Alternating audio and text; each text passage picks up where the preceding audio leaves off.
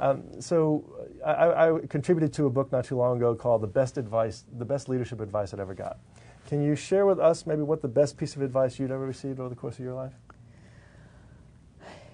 You know, I don't know if it's if I received it or I just believe it. Okay. But I guess the best leadership advice I would give to somebody mm-hmm. is that people are doing the best they can mm-hmm. at all times, given their level of awareness, mm-hmm. including myself. Mm-hmm. And you know, you can look in the rearview mirror and see how you could be doing things much better. But at the time, you did the best you could given what you knew and how you were feeling and all the mm-hmm. rest of it. And I think if we could extend that kind of grace to the people that we work with, mm-hmm.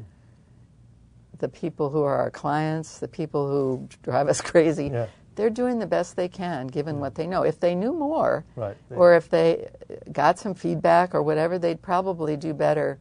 But people can feel that. People right. can feel that from a leader that uh, that um,